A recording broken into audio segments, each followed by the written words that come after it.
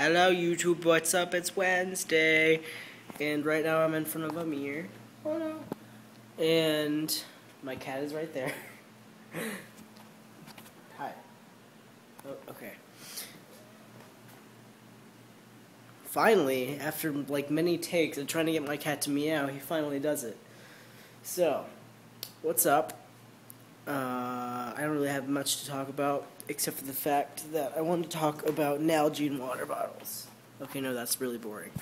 Um, so as you guys have been know, well, as you guys have known, I've been on the uh, the no soda diet since uh, July 1st, and I'm doing really, I've been doing really, really well with that. It's been 16 days because I'm filming this on a Monday, but it will be 20 days. Yeah, see. Today is the 20th. Yeah, okay. I'll sound really stupid if it's not the 20th. But, um, anyway, but yeah, it's it's got to be the 20th because that's four days from now. So, uh, what's up? My teeth are not brushed. if you're wondering that, you probably didn't want to know that.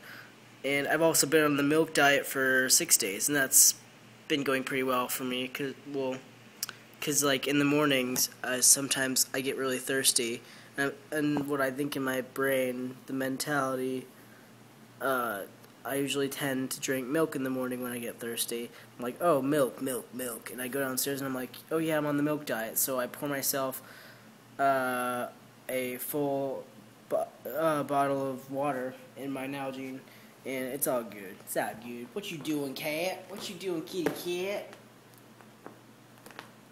Fine, fine. You don't wanna, don't wanna acknowledge me. I understand. Fine. Um. So basically, uh, my mom's uh, charger is in, is ah is in her room, and the only reason I uh, don't have a charger and why I have to use my mom's charger is because my dog. Funny story.